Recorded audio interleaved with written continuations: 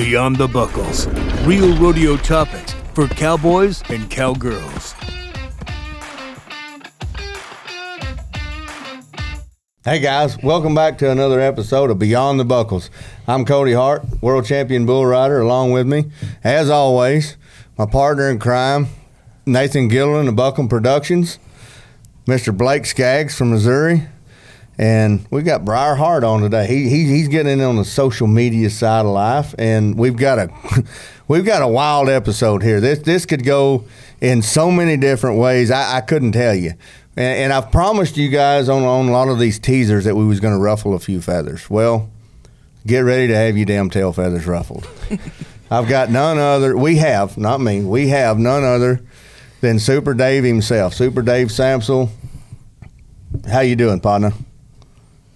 Great seeing y'all, and uh, proud to be a part of your podcast. Absolutely, Dave. One of the most interesting stories here, and I, I'm probably stealing a question here from Blake, but I think it's a great way to start out. Is it's a cool story. When did you start riding bulls? Uh, in the fall of '94, I got on my first bull and uh, was enrolled at K State. Sorry. So you was in college. Uh, yeah, yeah. I was enrolled at K State, going to college, and the only cowboys I could find around there were the rodeo cowboys, and uh, they talked me into coming out and getting on some bulls, and and I wanted to ride bareback horses, and uh, I rode bareback horses for about two years and figured out it wasn't wasn't any good at it. So, uh, and the bull riding was kind of paying the, the entry fees for the bareback riding. So I figured I better just stick with that. So you was a late bloomer a little bit there. So I mean, because Briar, you know, like I said, he he's he started young. I, I kind of held my oldest son back a little bit because I didn't. I wanted him to want it a little more. But you you started Sure. you started late and and stuff. And Blake, uh, you know, you you didn't you rode calves a little bit, Yep. and then what happened? I just uh, kind of fell off and started falling off, and not quite the size for uh, bull riding. So I decided to start buying bucking bulls and Yeah. playing with the ABBI for chur- junior futurity Yeah. a little bit. And I had a question for Dave: Is uh, when did you become pro? Uh, you started. You got on your first bull in '94. When did you buy your pro card or buy your PBR card? Well, it was kind of an odd start. The fall of '95, uh, John McDonald, uh, stock contractor from Kansas. It was uh, uh, he was a stock contractor for the BROs, and and if you remember the old Silver Chutes, he that was his arena and chute setup and everything. And uh, he'd gotten the number from our college coach and said he had some bulls to buck and uh, called me and I said, "Well, how much are you charging?" And he said, "Charge." He said, "Hell, I'll give you gas money to come over here." and uh, well, we couldn't get in the, the van fast enough, shit. you know. yeah. Yeah, yeah. and uh, uh, you know, I went over there and he kind of asked. There was three of us, and you know, hey, you know, which, which one's the best rider? You know, and kind of, you know, so I can get you on the right bulls and stuff. I got I got on one and rode him. He was just right there in the latch, and you know, just pretty nice bull. And he said, "Hey, get on this other bull real quick." so I got on him and rode him, and he said, "Where you been going?" I said, "Oh, just these Jimmy Carruthers and Vicky Long amateur rodeos and stuff." He said, "Well, Mark Kane was 90 on that bull a couple weeks ago at the BRO in North Carolina or whatever, and such and such was 88 on that one." And he said, "You need to go to these big shows." And I said, "Well, get me in, and I'll go." And uh, next thing I know, I was headed to Phoenix, uh, Arizona for New Year's Eve, Yeah. and uh, won me a little change. And uh, I decided to go. I drove all the way down there by myself, and down there, and you know, there's all these guys entered from Stephenville, and of course, I knew the big name guys, and I thought, shoot, I'm gonna drive down and see what the attraction is in Stephenville, and. Uh, next thing I know, I moved to Stephenville in January '96 and uh, was playing pool with a guy at the bar there. And he said, uh, "Hey, you want to come to a Super Bowl party?"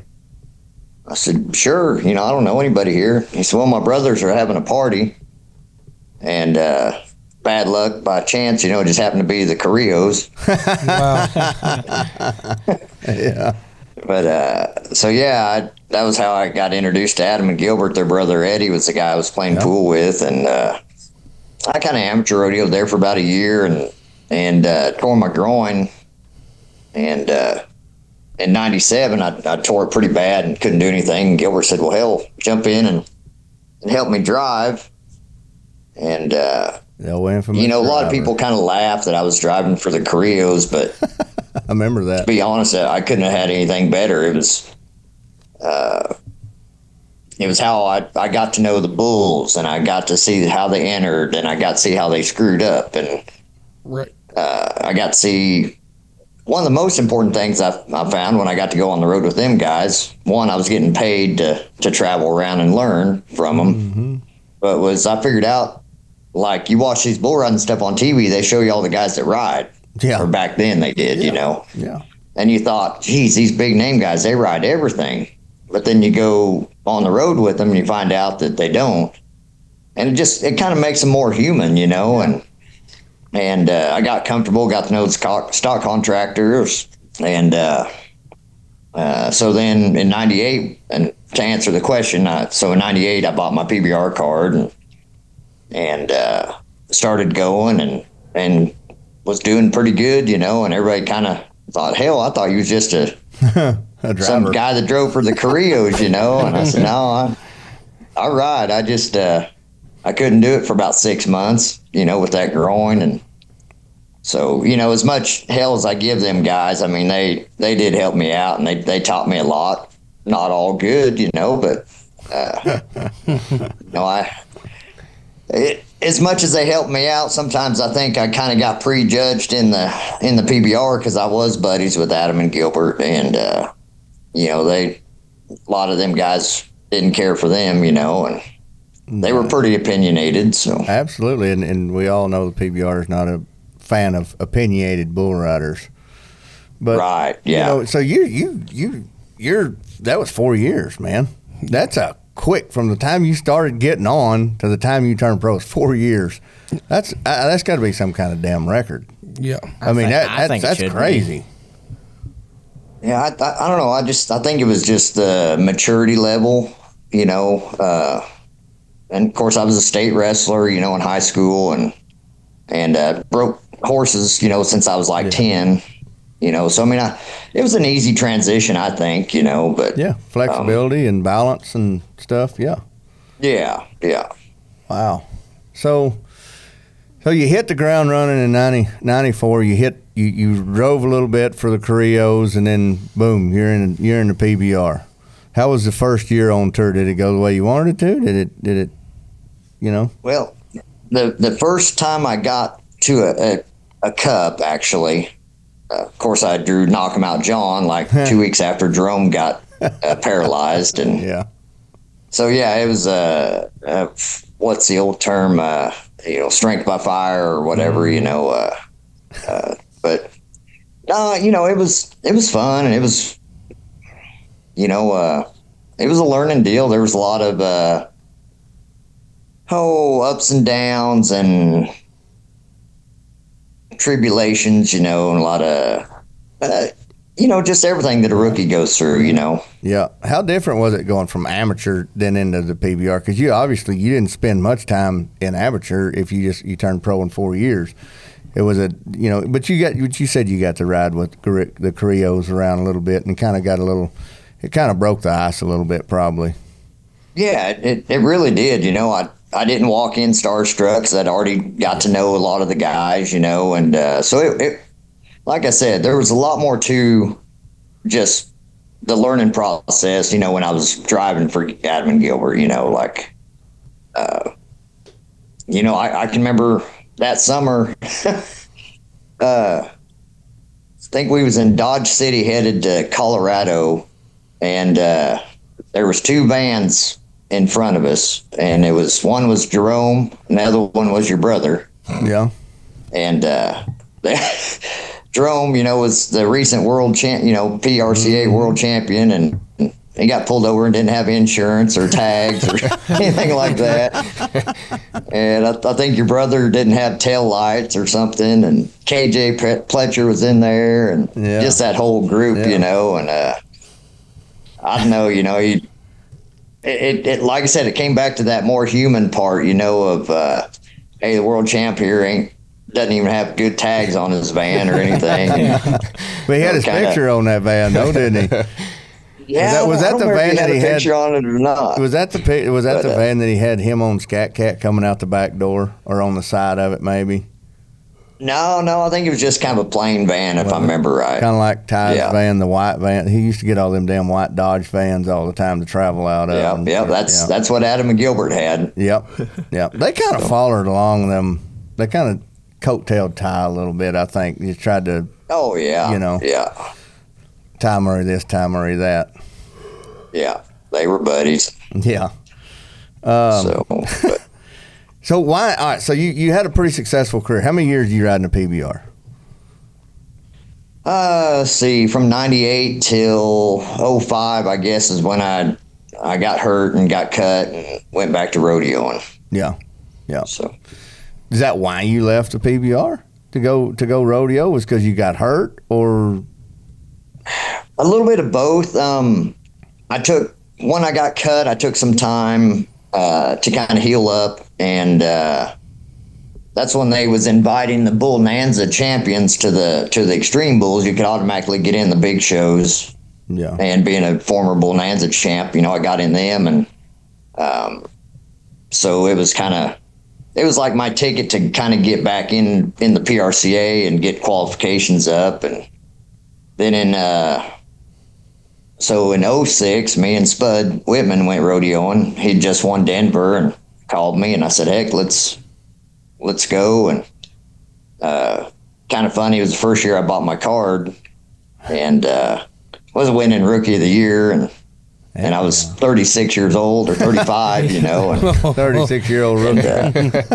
yeah, yeah, you know, and uh, I remember at Greeley, Hadley Barrett announcing, you know, hey, this young guy here. Every now and then, these young guys come along, and he's winning the Rookie of the Year, and Spud about fell off the bucking chutes when he was pulling my rope, laughing at Hadley, and and uh, after the the event, we caught up with Hadley and had a an adult beverage or two, and I said, I said, Hadley, what? What the hell? Are You talking about I'm a young guy, you know? And he said, Well, I didn't think it'd be the same guy that I'd seen in the PBR, you know. and uh, so he, I guess he thought there was somebody else with my name, but it, it's happened more than once. But uh, uh, I ended up, uh, what I thought I tore my, my groin again, I ended up cracking my pelvis. Uh, at the end of the year, and then old uh, Edgar Oliveira, you remember Edgar? Yeah, I do. He ended up uh, uh, passing me in one rookie of the year by about 500 bucks. So, Wow. so I, I did not get the saddle, but Did you get you Um, got pretty close to winning rookie of the year in the PBR too, didn't you? no, I, not that I remember. Um, It wasn't really Of course, they that wouldn't big a have told deal back I- then. I don't think. yeah, they, they wouldn't have told me if I had anyway, but Right. right. Uh, yeah. Yeah. Um, you know, uh, yeah. that that's a whole nother story there. But um, you know, uh, the second year, I, the the first year I was an alternate at '98, um, and then '99 I went to the finals there, and and uh, and then 2000s when I when I had my my best finals when I, I won was gonna say, second. you was close to winning the finals one year. I remember you rode locomotive breath and, and some pretty salty cats that year.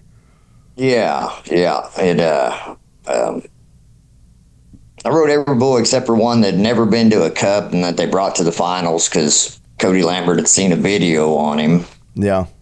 and uh he hit me in the face twice with a horn and I wasn't going to take the third shot. So What So was that bull? You remember? It was a Okeechobee wipeout. Oh, He was a big white yeah, high horn bull and yeah. I think they uh Yeah. they bucked him once or twice and then they banned him. Yeah. But yeah, I was I was really glad he was at the finals that year. Yeah, yeah. Lucky you. Lucky. You. I mean, who else? Who's better to get on him than Super Dave, right? Yeah, yeah. They're like, you know, uh, Lambert always says he hit, you know, it was a random draw, but he never said how many times he hit random to, to get you know, tie one of good spinners. I, I, I sometimes wondered that. You know, I I, it, it felt sometimes it felt like it was that way, and I and, and I'm not saying that it wasn't. It, it sure possibly could have been, but it was sure funny. Some of their top guys wound up with some of the nicest bulls. Yeah. Yeah, uh, in the six years I went to the PBR finals, that that Friday night, I never got on them the the good ones on Friday night. I got on them ones that they didn't buck again. You know, like they pulled out of the out of the fucking hat after that. But uh, yeah, it, it was funny how certain guys on that Friday night, of you know, TV round was Yeah. you know drawing the Red Wolves and the uh, Moody Blues and stuff like that on Friday nights. That I, I I could feel your pain. I had Rampage Yeah. in Hollywood and Hammer a couple times, and Yeah. you know, Promised Land. yeah, there's a few of them. We could- we could go on and on about the discrepancies of the PBR. And, and don't get me wrong, I love the PBR. I love the thought of the PBR, right? The the, the had Absolutely. originated, right? The best bull riders in the world, you know, owned by the best bull riders in the world, ran for, ran by and for the best bull riders in the world. That is the concept that continues to sell today. That's Yeah. that is awesome, right? And I love the PBR. Do I agree with everything they do or how they do it? No, I do not necessarily, but that's the country that we live in. We can have our own dadgum opinion. But, uh, you know, in going through, you know, me and Randy wasn't always the greatest of friends because I didn't think that he was making some of the right decisions. And then, but at the time looking back, or back now looking back, I think he probably was the only guy that get us through there. But I still question some of the stuff. But I, I ain't got that degree. Yeah, I, I I think he did a great job for the PBR. The thing was was uh, I'm a big guy on uh, treat everybody equal, and that definitely never happened there. You know, in the Uh, fashion or the way that he treated people to get the job done is what you're getting at. right, right. Yeah, there was. Yeah. He had about as much bedside manners as a billy goat. Right, right. Yeah. So you go from the PBR into the PRCA and take off, make the NFR. Um, what was that transition like? Was it was it any better going from the PBR where you got, you know, you're at this, you know, you go through the same events every year because you was in there what six seven years, and then Yeah. you know you're you're going to the same cities year after year, you know, year in year out, same coliseums. You got a lot of the same fans a lot of the same stock contractors, depending on what part of the country you're in, and, and mostly a lot of the same bull riders. Whereas when you jump over to the PRCA, you got a whole new set of bull riders. You got a whole new set of stock contractors. You got you're going different places every year, other than your big rodeos. But how was that transition to going from the PBR to the PRCA? Because it seems like you know PBR is that's where the top is, right? That's where the best bull riders are, where the best bulls were. Was it a day off like everybody thinks, going over to the PRCA and getting on lesser bulls and lesser competition? I guess. You know, um, I'm I'm going to say it's apples and oranges. Uh, the transition was easier going over there because I'd already built a name in the PBR, Right. so most of the people knew me. Um, That didn't hurt you. but Though. when I went back to rodeoing, I'm sorry, go ahead. that that didn't hurt you though. I, I didn't mean to interrupt you there, but when you said they they already knew you, this is back in the time when PBR and PRCA were measuring their peckers to see who could piss the furthest and keep it up. That didn't. Right. When you went over there, they didn't hold a grudge on you, or or you know, Uh, absolutely not. you over, no, no, over I, I. They welcomed you with open arms. I think I was more welcomed and and uh, maybe there was even there now there was a few guys that that thought oh well he's the big PBR guy you know know me you know. Right.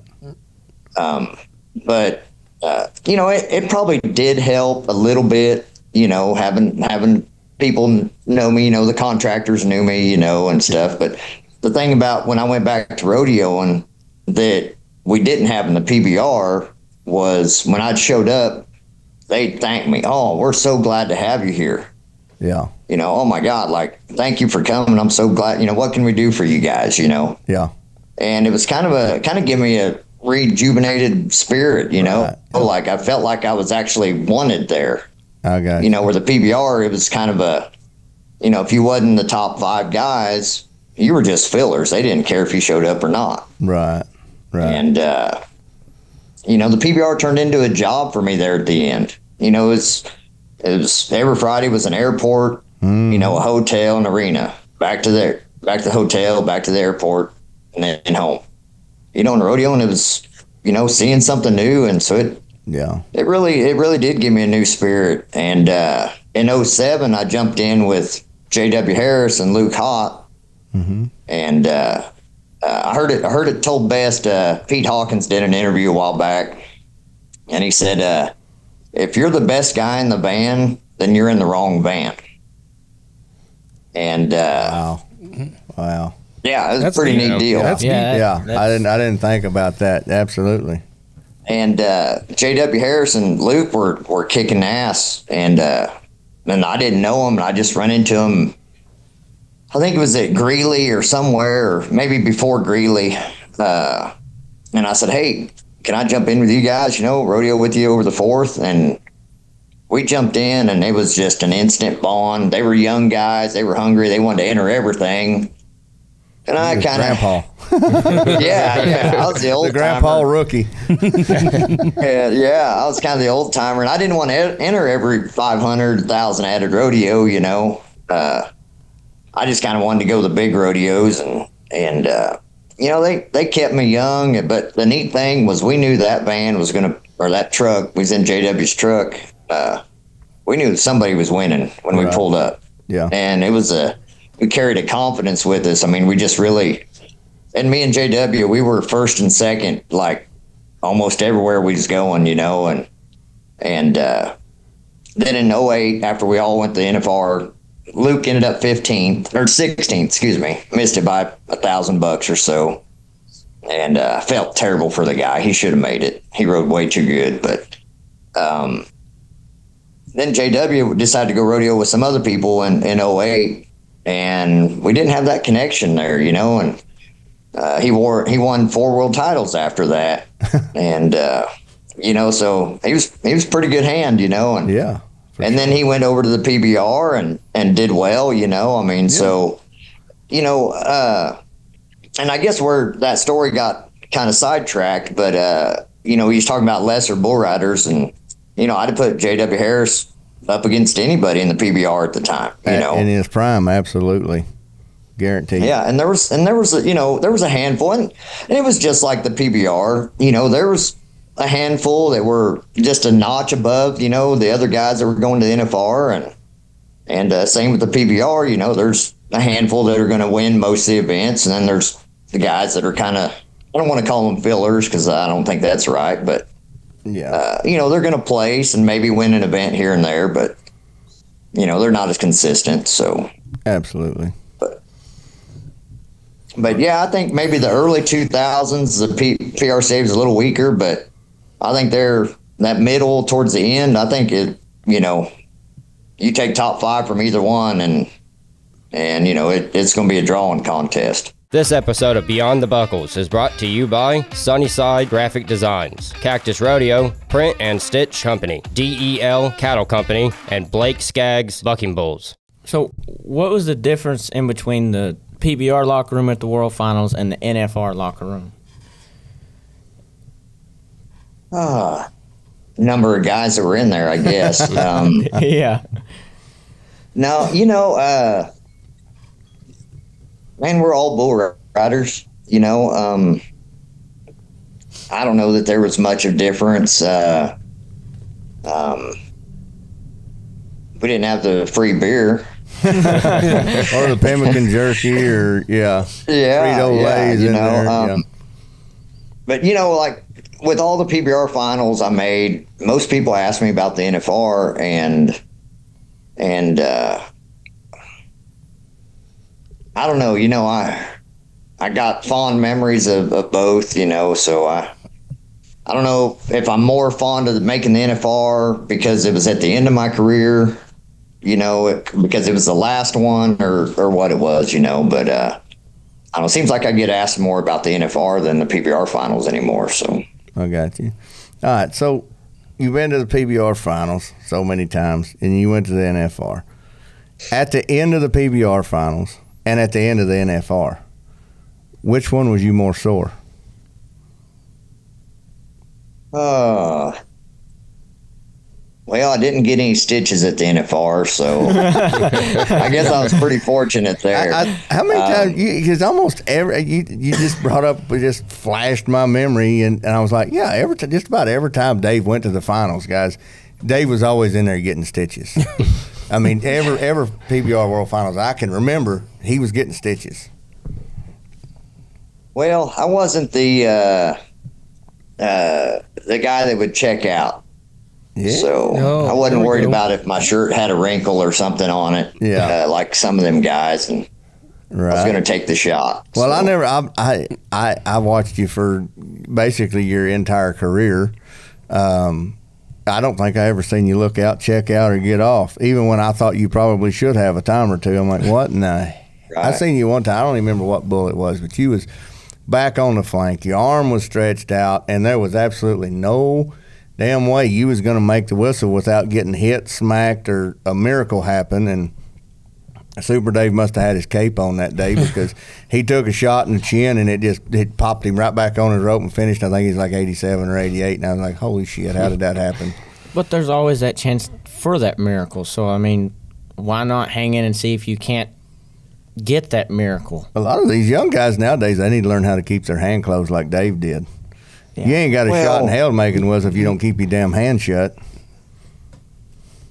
You know, it, it's it goes back to paying for practice pools. You know, these guys are, you know, they're more worried they're they're more worried about their sponsor money, and than they are winning. You know, and uh, there's a well, since we're not, you know, trying to be everybody's friend. Like uh, I remember when Pistol Robinson was riding, Yeah. and Pistol Robinson would nod his head, and his head would come up, and he Yeah. he was bailing off in there and didn't care. Every bull that stepped out of, out of the spin would buck pistol off. He didn't have a chance. Yeah. And I asked him, I said, man, what? Because he's used to getting all these little futurity calves that just spin. And he goes, the odds of, of them jumping out of it are so low. He said, I, I'm not worried about it. There's another one tomorrow. Wow. And I just, I, I couldn't Wow. believe it. I was like, Yeah.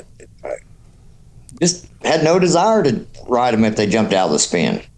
Did you ever You do know? any trash talking to the guys that looked out? Did you ever give them hard times? Every one of them. Oh yeah. boy. Oh yeah. boy. There's my Dave right there. hey, and and and I rodeoed a, a fair bit with Cody Hancock, and uh, I remember one year at, at San Antonio. Uh, uh, oh, geez, I can't believe I'm drawing a blank on him. Uh, redheaded kid from Wyoming went to the NFR a few times. BJ Schumacher. No, he was from Wisconsin. Oh, okay. Yeah. All right. uh, gosh dang, he was probably the best bull rider at the NFR that year. But you could scare this guy. If he was winning it, you just tell him, man, that, that bull's pretty hooky, you know, be careful. Yeah. And and he wouldn't nod. There's times he'd his old legs would be shaking, you know. And, uh, Cody Hancock come in the locker room one night and he said he said he said, uh, what what did he say? He said, uh, he said, You'd be a world champ if you wasn't such a pussy. and uh, that guy just said, Whoa, you know, he was like, What do you mean? He's like, He's like, Why don't you nod your head? That's a great bull, you know? And, Right. and he said, I'll nod my head when the good Lord tells me it's safe. Wow. He's in the wrong And sport. uh, Yeah. yeah, yeah. I was like, I, I don't know, unless you got some other voices in your head. I, well, I ain't- no, we ain't all there, but you know, yeah. Uh, but uh, and and that guy and geez, I feel terrible. I think his wife made the NFR this year, uh, and I know if I said his name, you'd know it. oh, I'm um, sure. uh, kind of had long red hair, not not Jason McLean. That's who I was um, trying to think of, but I, I Uh, this guy's a lot lot smaller. Jeez, and I, I guarantee he he he rode great, but you could you could get in his head. yeah. You know, there was a lot of them guys that could you could get in their head. Like I never could figure out how Adriano how you could get in his head. But how many times did I see him if he didn't like a bull or just maybe didn't like what he had for lunch that day, he wouldn't put out the effort. And he's three time PBR Yeah. world champ. And just, I think he still got the record for the fastest buck off at .66 or something. How do how do you buck Oh, off at geez. .66? That's not even at the bottom of your nod yet. You know, I mean, the gate Good man on ain't even let go of the gate yet. You know. Yeah, Um, yeah. Jinx is still standing there. Yeah, yeah, yeah. He didn't run off, did he? yeah, Jinx. I think Jinx had to help him up. Honestly, Right. I mean, right. they, I mean, Adriano had to get up so they could shut the gate. Yeah, yeah. But yeah, that's I don't know, man. Them them guys looking off, and, and nowadays I just don't I don't get it. You know. Uh, I don't either. And, and the guys on the back of the bucking chutes, I think their traveling partners are part to blame to some of it because they don't call them pussies. They don't call them names and, and razz them and, and you know, I, and I told the story on a previous podcast about, you know, Pee Wee, and when you rodeoed with Pee Wee and you was a guy that went last or got bucked off or something, you did the worst out of the group. You had to carry a box of Tampax in your front pocket, you know, everywhere you went Oh, until, until you beat somebody, you know. I mean, Right, stuff like right. that, or, or if you bucked off, you had to drive all night, or Yeah. you know, Oh, yeah, you had to buy dinner or something, you know. Uh, I, I don't think, and we talked to Mason Taylor earlier, and he he said it's not that way no more. said, man, it's it's it's it's a, it's acceptable now to look out and get off. and it should Well, they're not they're be. they're too busy. They're too busy filming. Yeah. You know, trying to get a good picture for their Instagram. You know. Or they don't post the videos. It's just the the snapshot, and it's the three Yeah. seconds they stayed on. Yeah. And this is probably Right, not right. the, the best guest I, I could ask this question here, but yeah, you know, and I know you're still involved with bull riding with the Cowboys, helping Cowboys and stuff, and you keep up with it, of course. But back in our day, you didn't have to have arm candy or something on your arm to be a bull rider. Nowadays, it seems like it's almost a dead dadgum requirement that you got to have some pretty little thing on your arm to flaunt around, or you're just not one of the cool guys. Did I mean, and, and I know the reason I say you was the bad one, eh, that because every time we went to Del Rio, you usually had three of them. so, and we'd be like, "How did Dave? Look at Dave. What? How did, that guy's ugly. How the hell we got? How did he get? He's got to be paying them. I mean, we was taking bets that you was having to buy them and, and, and rent them to come hang out. had out the with. gift of gab. Yeah, And I had the gift of gab. Yeah, Yeah. it was damn sure Yeah. something. I don't know what it was, but Right. Right. so how many times you get Hey, to go to that- Del Rio, man? Talking about Del Rio, oh, Shoot, I love Del Rio. it's awesome, wasn't it? That was back when we could go across Yeah, uh, across the border. And the last time before shit hit the fan, we couldn't really cross. I remember going over there to uh, Corona Club, Oh, La. Macarena. yeah the Corona Club, Yeah, and I had my picture on on the wall back there. yeah.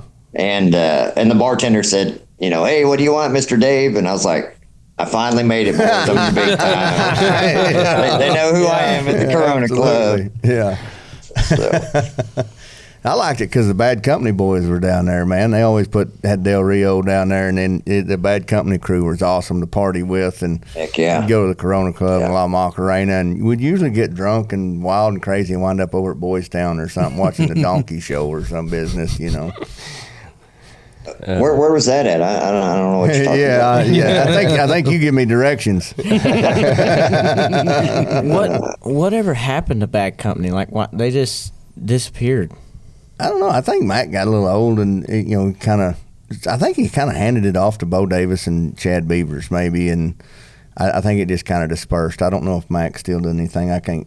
Like, don't quote me on that. I'm sure he sold his card or something, and, and Yeah. they renamed it or something. But How big of an icon Yeah. was that guy, right?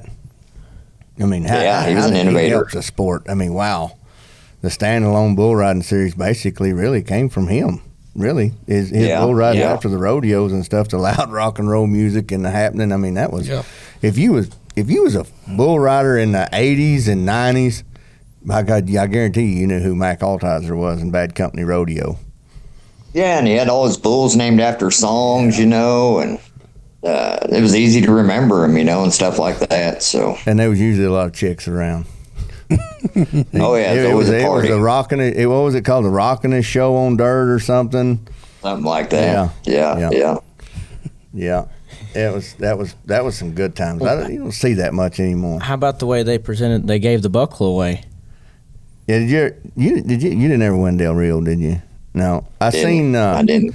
I can't remember who who the heck won it that year, but uh, well, most of the years there was some big, well endowed woman uh, with Hooters that went out there and she presented the buckle between her boobs, and yeah, that's how you got the buckle. Now, that's one of my that's one of my memories. One of my memories of uh, Del Rio is is sliding up, nodding, and beer cans are falling and hitting your bull, and you're hitting your bull on the head, and you're like, yep. okay, fo- focus, focus. yeah, we're at a bull Yeah, ride. you'd look up and and and actually that there was that expanded metal walkway up there and and uh, yeah, so beer would get s- spilled on you, but you could look up and see some stuff too, and uh, yeah, it was pretty good scenery and at, at- at Right, times. And it's usually you know hundred and something degrees down there, and I've you know that Del Rio was actually the only bull riding I've ever drank before I got on. Because you could drink like 30, you could drink three beers before thirty minutes before the bull ride, and by the time your bull was loaded, you was sober as heck because he done sweated that shit out. It was so damn hot. Right. Yeah, I can honestly say that that's one of the few places I ever drank before I got on. So Yeah, I don't advise One that. very any, few. any any young guys out there don't drink before you get on. But uh, this is just uh, how the old guys used to do it a little bit back in Del Rio in the hundred degree heat. yeah, yeah. About the only reason I I drank before I got on there was because I thought I was going to turn out. I I'd hurt my shoulder and and I, I couldn't raise it, and uh, I bucked off my first one, and uh, they said, you know, everybody's like, "Oh, you going to turn out?" And I said, "Yeah, shit, I I can't can't ride if it goes into my hand." And they said, "Oh, that bull's right there to the left in the latch." And I was about two beers into it, and I thought. Hell, I can do that, you know. I can probably get by that, and uh, in a good cowboy fashion, I crawled up there and handed Hancock what was left of my beer, got on nodded like 86 or 87, and and I ended up turning out the short round, but uh, hell, won a check, so Yeah. That- yeah, when I went to Del Rio, either I won a check, placed good, or got knocked the hell out, or both. I, I I concur. Yeah, I can give you a funny story, and I wish Pee Wee was on here to tell it because he was he was part of the, the the coup on this deal.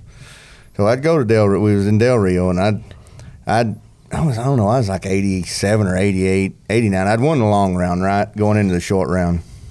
I get walked this way of bad companies in the short round. Of course, I'm the last guy out. And I don't know. I don't even remember how long I rode him. Right? I don't. It might have been one jump. It might have been six jumps. I don't remember, and I don't believe there's a video of it. And this bull, he knock, he he knocks me out, and I'm out. And I remember getting up in the arena by myself, and guys were still coming to me. So I'm I'm taking it. He rung my bell and, and scattered my chickens or something, you know. And I remember walking out, and they kind of helped me out a little bit. And I got back there, and somebody had handed me my bull rope, and I remember hanging it on the fence. Right, and I'm hanging it on the fence, and I'm about ready to take start taking my stuff off, and Brian Herman comes up. He, he goes, "What are you doing?" I said, "I'm putting my stuff up." He goes, "No, man, you got to re-ride. You got to re-ride. You got." I'm like, "What?" He goes, "Yeah, you got to re-ride. They're fixing to load load your bull." And I look, and right there where, where we hang everybody, there's a big that they had some pins, and then they had an alleyway run up there. Well, they was what they was doing. They was just moving some bulls around. Well, my rum dum butt hmm. thought that they was loading my bull, and people goes, "Yeah, they, you got that red bull right there. They're fixing to load him." So I just pull my glove back on. I start heating my rope up, you know, and I'm I'm heating it up, and I'm heating it up, and I'm kind of getting ready, and I'm in slow motion, man. I'm I am lethargic, and and you know I don't even know where the hell I am really. And Ross Johnson walks up and goes, "What are you doing?" I said, "I got a." I got, Pee Wee said I got a re-ride. And he said, I said they're fixing to load him. I'm getting ready, and he goes. Boy, you got knocked the fuck out. You ain't got no re-ride. you dumbass. And I turn around and there's my wife. There's Pee Wee, his wife. Every, there, there's like a whole group of guys over there just dying laughing. They was completely totally fucking with me. And I was like, you assholes. hard having pals. I tell you what, it, it is it is tough having friends. I promise you. Yeah, they give me some business there, but I always loved going to Del Rio though. That was I wished it would go back to that because Did you go to it when when it was PRCA sanctioned or extreme? Uh, I never went to the De La Gas. Uh, I went to Del Rio when it was a CBR. Yeah. a couple times. No, was it the same party? Because I never went when it was a CBR. I always it was it was a PBR all the time. But It it wasn't because that's when nobody would go across the border. yeah, I got you. So it wasn't as big a deal. I mean, it was just Another it was just ride. kind of another bull ride to be honest. But right. um, Isn't it an extreme bulls now? I I'm not sure what it is. I think it is. probably Yeah, I- probably I, would. Yeah. think. I, ju- I just wondered if the whole atmosphere was still there, but I guess go not being able to go to the Corona Club or cross the border and and do all the festivities over there. Go to Mall Crosby's and eats. I I love You Mall know, and it- and it's it's all changed. You know, uh, uh, two years ago, me and a group of guys, Turnbow and some other guys, all flew to Nashville for a little weekend of golf, and it was the weekend the PBR was there, and we thought, well, hell, let's yeah, we'll go to the show, and you know, Cody Custer was like a chute boss or something, and you know, we came down. We actually sit in the stands for a while. That was kind of weird, but Uh, it is. you know, we came down after it was over, and I was like, "Hey, where y'all going? Like, what's where's the after party?" And said, they looked at me, and JB was about one of the few guys I know. I said, "JB, what's everybody doing?" He said, "Oh, they don't do anything anymore." And I was like, "Well, shit, this is boring. who'd want to? I wouldn't have went, made it that long in the PBR if they didn't do anything afterwards." if they didn't have an after party or or we just somebody'd wind up going and buying several cases of beer and and Hang out in and, the and, and hang out in room? the well we they had free beer in the locker room back then but when they when the Coliseum finally kicked us out we would go to the to the hotel and in the lobby or whatever and just somebody'd bring a guitar or something and there would be cases of beer in there and we'd just sit and drink till two or three o'clock in the morning and then go to bed I mean the party never ended Yeah, yeah, That's not Yeah, like it- that no more. No. No. it's not. You know, like the. The PBR was kind of hard on my liver because if I did good, we celebrated. And then, and then I was sponsored by Anheuser Busch for a while, you know. So I'd I'd get paid to go to the bar after the bull riding, you know. yeah uh, But so if I won, I'd celebrated. If I didn't win, you drown I your lost, sorrows yeah, I'd drown the sorrows. And if you just did okay, one of your buddies won. Yeah. you know, so you got to go celebrate with them. right? Yeah, I, mean, Yeah, I, I had Jack Daniels for a little bit and had to go do them autograph signings and stuff at the bar. And yeah, either way, there was always a reason to drink and party and hang out with your buddies. I mean, shoot, back then we lived like rock stars, man. Oh man, And and Nashville. Oh, yeah. Nashville was Oh. definitely used to be a fun event. Uh, yeah, I remember. Uh, there's a story about me and you too out in Nashville, and Razor, our good Yeah, buddy Razor. Razor. yeah, yeah. That was the one chance I had to to go uh, go to the hotel with his ex girlfriend Kim. yeah, yeah, it didn't she, work out. she was mad. Yeah, she was mad at him. yeah, she said, "I'm going with you," and for some reason, I thought friendship was more important. And Yeah. boy, I Yeah, hate well- myself now.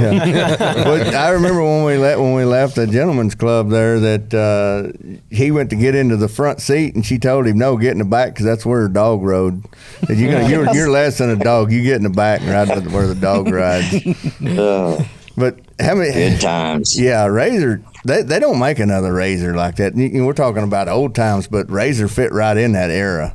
I mean, Yeah, How many yeah. times in Vegas did we catch him sitting at the at the same table for a day and a half or something? Right. You know, uh, funny story. One time, uh, there towards the end of my PBR career, when him and I was kind of, you know, in the PBR, you'd say you traveled with people, but it was actually, you know, you Showed up rooms kind of just them. got the same. Yeah, you Yeah. got the same flights or whatever, you know. Um, and I got to the point where we had to start driving separate because Razor would never make the flight home. oh yeah. And if he drove us to the airport, I was screwed. Yep. yep. So uh, so that changed, but uh, uh, I remember one time we was at the finals and and Razor was gambling and and he thought he was winning. He said, uh, "We got home, Stephenville, and he said he said, you know what, Cody Custer's wife? I, I didn't realize she was such a gambler." And I said, oh, man, I don't know. He said, I know she kept getting chips from me, you know, kept borrowing him. He said, you know, hell, I don't, I don't know how much I gave her. Well, I think at the first event, like a month later or something, Cody Custer came and brought Jim a check for like fifty six hundred dollars, and she was just putting them chips in her pocket and Yeah. and cashed them out and and wrote him a check and hell, he's never so happy. But you know, everybody's always taking care of that guy. Oh yeah, I, I I traveled with him for about two weeks. I picked him up at uh, at a gentleman's club in DFW and took him to the airport. And we got on a plane, went bull riding. Come back, I dropped him back off at the gentleman's club. And, and then the next week I did the same, and I told Jim, I was I told Rice, man, Razor, I can't keep doing this, bud. I can't do it. And, it, you know, it was a revolve. I mean, he had the black book and everything for every girl in town, and I mean, I was like, Razor, come on, man. Yeah, I was. I, I don't know if I was. I felt uh, privileged to rodeo with him, or if it was more of a hindrance. you know, yeah, like you never knew, right? yeah, yeah. Uh, I mean, you know, he, he one of the greatest for sure. You know, if not the greatest, but you know, great guy. Just sometimes had his priorities uh, a little off. He he was so natural, just and, and rode them with such ease and. But boy, I tell you what, I I don't know which more which is more fun to talk about, him riding bulls or his after the bull riding curricular activities. You know, because they was they're all good. There was never a dull moment when Razor was around. We uh, one of our favorite memories of Razor, me and Corey Turnbow, uh, we was at Columbus, Ohio, Oh, and uh, Four horse do you, Congress. do you remember that that hotel? You know, is like a big horseshoe. Yeah. you could look down fifteen stories or whatever. yeah, There's some some big girls that was in the room next to us. Old uh, old Robin, oh yeah. and uh, they uh, they come banging on our door, and uh, like, what's going on? They said, "Hey, Razor's in a fight. Razor's in a fight." So we we run over there about five rooms down, and and but somebody else had already gotten there, and and they had a hold of Razor, and he's standing there, and he just had a pair of black socks on. That was it. and he was in the room with some guy's wife or girlfriend or something. and uh, yeah. Ra- Razor, he, he couldn't fight, but he got real tough once there was about six of us, you know, around him. Then you know, Yeah. Most bull riders But, uh, in all reality probably can't fight. They they talk a big game, but I know I sure couldn't fight. I didn't like. we're like fight. chihuahuas. Yeah, yeah. We're like chihuahuas. Yeah. All bark, no bite. Hey, w- Yeah. one one of my uh, memories of a of a fight was had your brother and McBride in it. oh, really? Um, they were signing. We was at one of them like Graham Central Station bars where they have Right. all the different Yeah. bars, and they were signing autographs out in like the little foyer.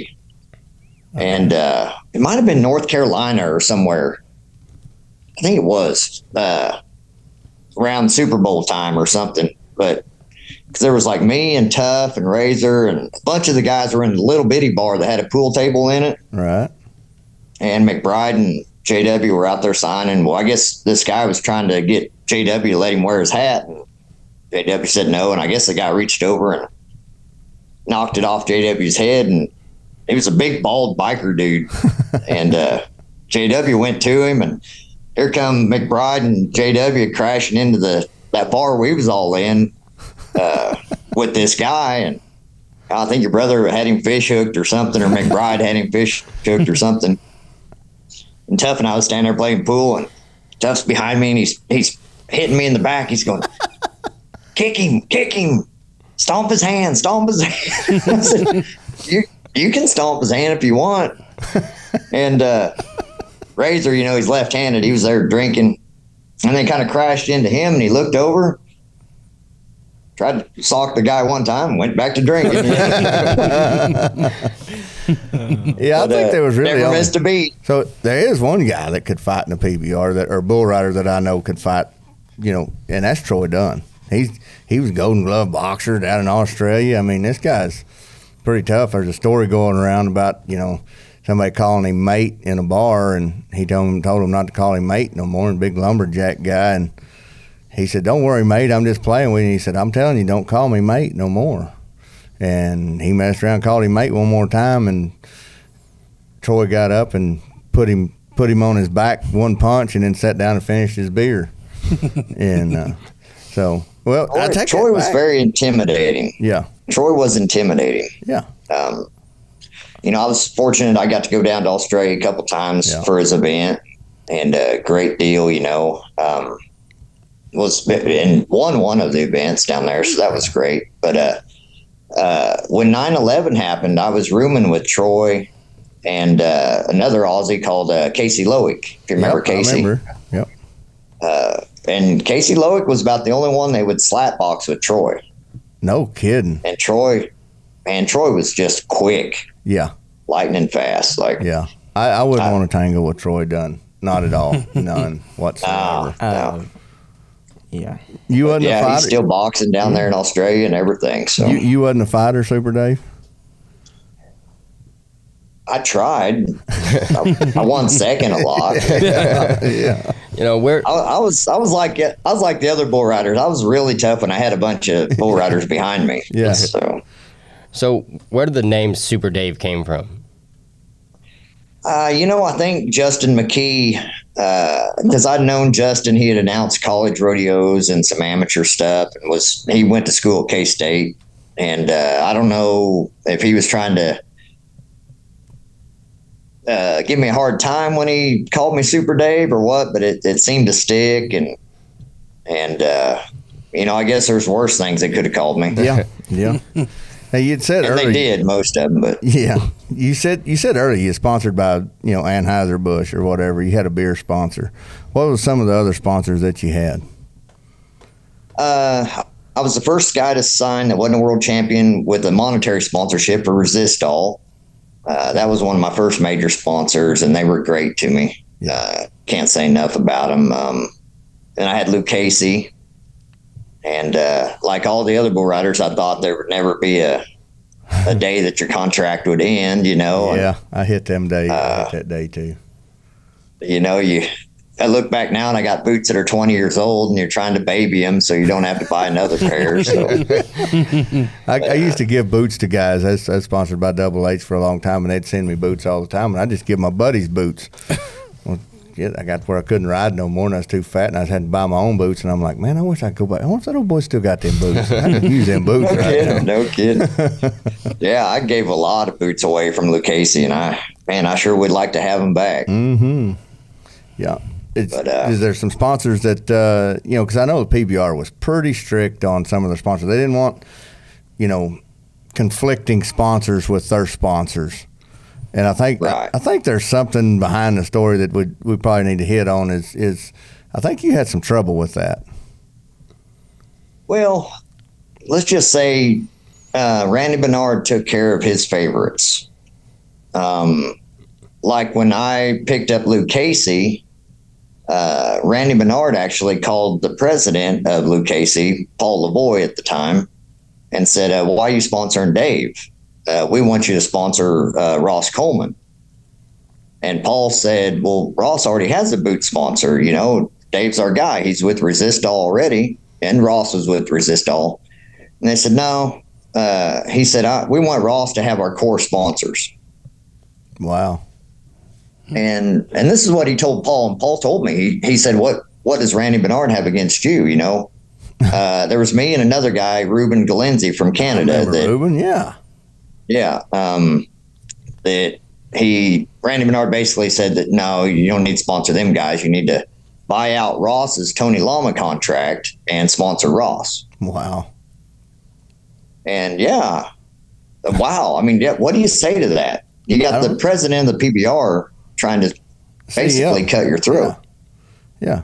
Did you did you Um, did you by chance run into him and ask him that question? I didn't get to really confront him about it. We we by that time we'd already had our uh, mutual agreements of just avoid each other. So right. you know, and he, he did it to me again in in 04 with Cabela's. Um, I went to high school not far from Sidney, Nebraska, and uh, a little town called Oshkosh. And uh, McBride, You're kidding me. Hold time out, time out. I ran a ranch in Oshkosh, Nebraska for about two years. yeah, yeah, that's where I graduated high school from. No kidding. Little bitty town had the S and S Steakhouse and Yeah, yeah, yeah, uh huh. That's what's that? What's that? The goose hunting capital of the world? it is. Yeah, it a is the goose capital. there. Yeah, Yeah, big old, big old goose right there at the end of Yep, town. yep, Yeah. For dang sure. I'll be dang. I did not know. I knew you come from Nebraska, but I didn't know that. How about that? Yeah. So when I was a senior, uh, I was uh, wrestling with Cooper McBride, which was Justin's older brother. He was a freshman. and uh, Justin was just this little blonde haired kid that hung out at the bar and sang to the jukebox with his dad. you know?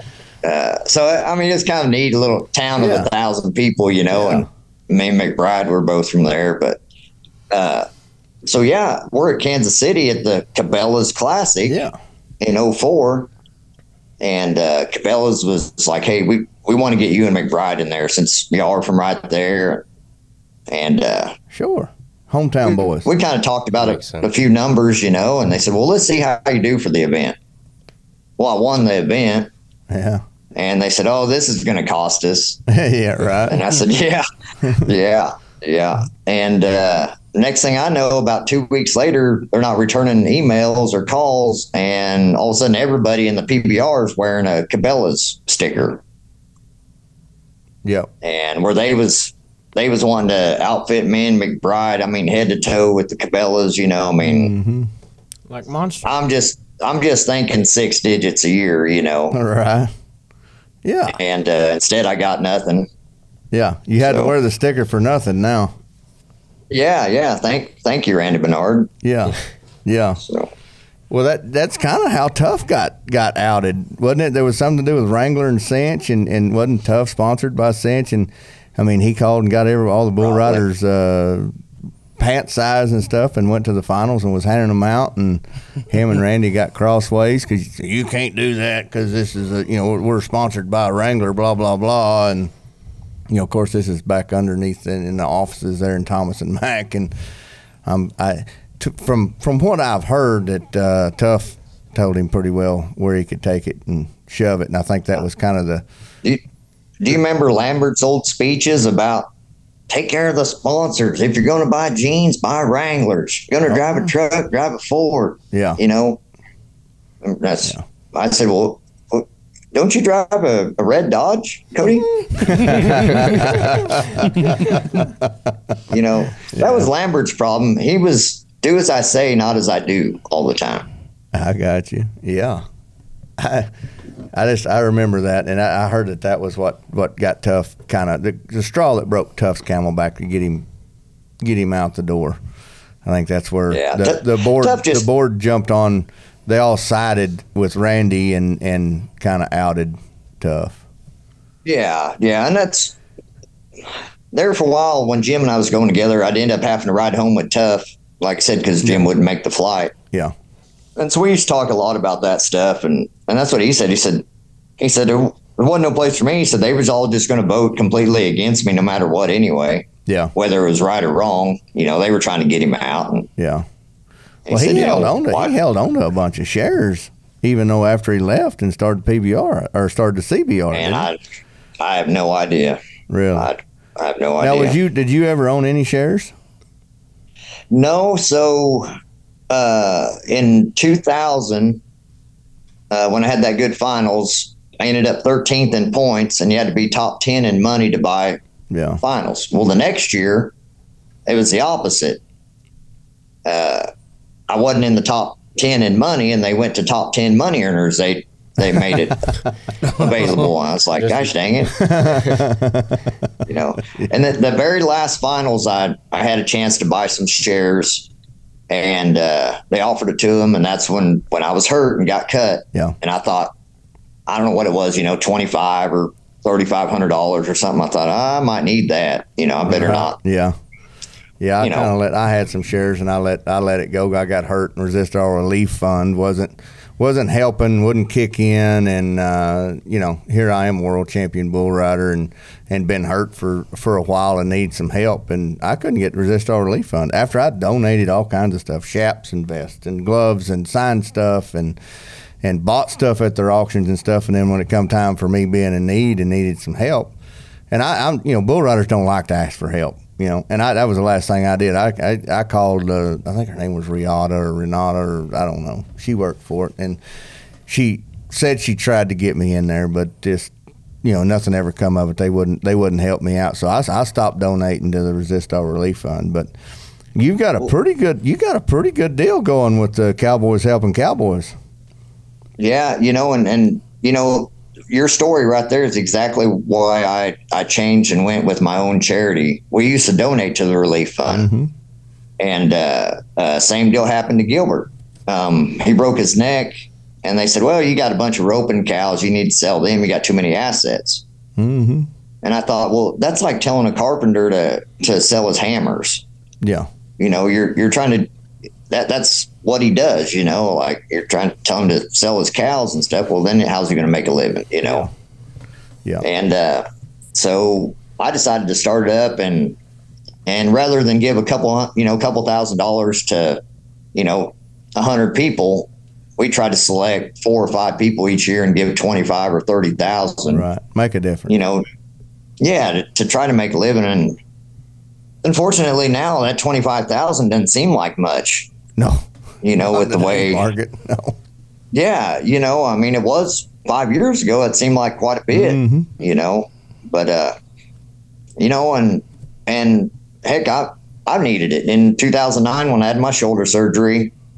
I had a couple renter properties and and uh, had bad renters. I had six months of eviction these people out of my Dublin place, and and they tore it up. And hell, I had like three four thousand dollars worth of mortgage payments every month, and mm-hmm. shoot, when I was hurt, it that got tough. It And ba- it I had to do a up fire sale. Yeah. Yeah, yeah, and I did a fire sale in 2009 was the housing market crash.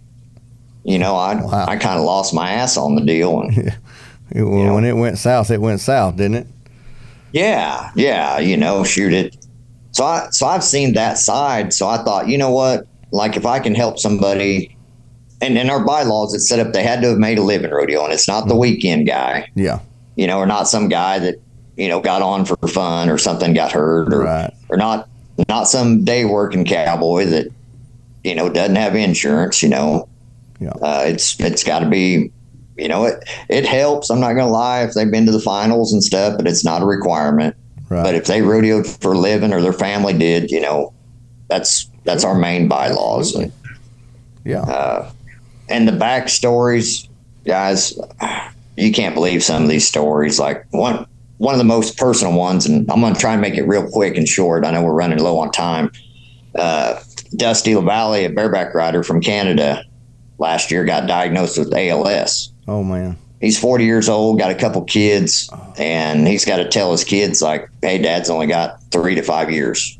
Wow. That's tough. Dang. That is tough. Tough. And yeah, I mean, you know, and he's, of course, insurance won't pay for like uh, unusual treatments, you know, or, or Right. speculatory stuff. And yeah.